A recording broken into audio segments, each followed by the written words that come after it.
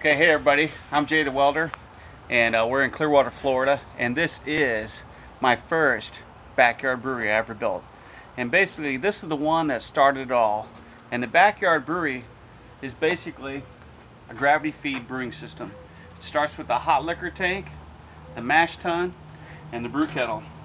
And here you can see uh, we used a solid bowl for the uh, dome of the mash tun, and then here we have a colander for the sparge spray down. And then uh, later on what we did is we upgraded it all to triclovers for the top and the bottom of the hot liquor tank and the mash tun so we can do an under system and we can control our temperature both with water coming up underneath the screen of the false bottom and plus each one of the uh, vessels have burners under them. So basically this was my first prototype. Uh, a good friend of mine Larry pushed me to build this thing and uh, it's all cladded with mirror finished stainless steel. Uh, I came up with this design of flame shrouds.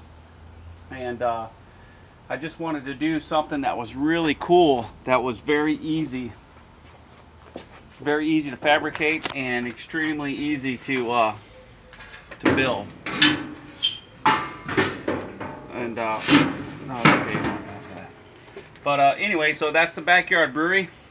And uh, this is probably one of the oldest backyard breweries in the state of Florida. I built this in the uh, late 90s, about 96 I think it was.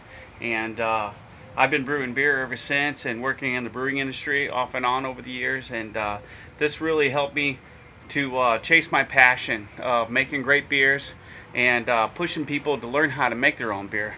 So the backyard brewery is basically one part of the lifestyle of having your own backyard brewery.